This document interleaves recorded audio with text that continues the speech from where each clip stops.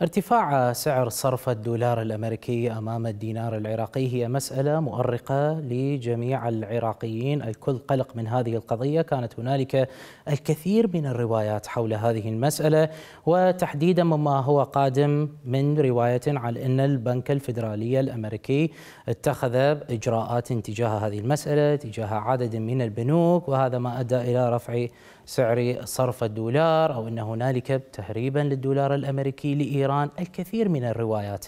ما حقيقة ما جرى؟ Well, first of all, thanks for the opportunity to clarify a very complicated issue. في البداية شكرا على الفرصة للتوضيح. موضوع معقد جدا. أغلبنا ليسوا مختصين في تفاصيل قطاع المصرف العالمي أو بالضرورة غسيل الأموال لكن دعني أقضي بعض الوقت لتوضيح ما نقوم به هنا. في البداية أود أن أقول بأن الولايات المتحدة لا تضع أو تحدد سعر التصريف بين الدينار العراقي والدولار.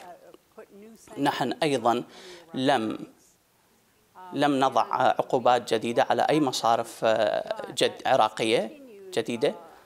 ما قمنا به هو مواصلة الآلية التي استغرقت عدة سنوات لتقوية القطاع المصرفي العراقي لمساعدته مساعدة المصارف الأخرى في العراق أن تمتثل مع النظام المصرفي العالمي وضمان أن أن نكون قادرين على تحديد استعمال النظام المصرفي العالمي من قبل المجرمين والجهات المغرضة لغسيل الأموال. هذه الأموال التي تعود للشعب العراقي وتهريبها خارج العراق. هذه الإجراءات التي اتخذناها بدأت قبل سنتين تقريبا وإجراءات هي بشكل تدريجي تم تنفيذها من قبل المصارف واتفق عليها بين البنك الفدرالي الأمريكي والبنك المركزي العراقي. لم تكن مصممة بأي طريقة أن تكون سياسية ومصممة كانت بالخصوص لضمان أن لا يتم